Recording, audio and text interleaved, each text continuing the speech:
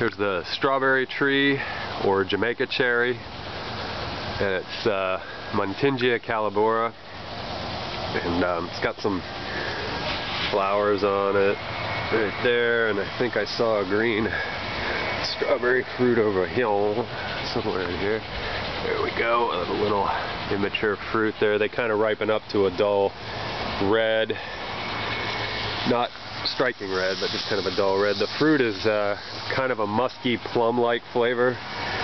And uh, this isn't much of a treat, but I'll wager it's probably one of the biggest ones in the area right now because of the cold weather in the last couple years has just absolutely wiped them out and there are none left. There were some on our farm there where I keep my equipment and my nursery, my little plants, uh, but they all got frozen to death. So this is probably the biggest, fattest one that's going on right now.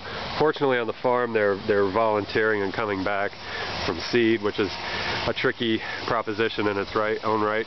So this is strawberry tree, Muntingia calabura, and this is just a young seedling, but it'll turn into a nice tree and you can stand in the shade underneath this tree and fill yourself up with some what I consider to be pretty tasty fruit.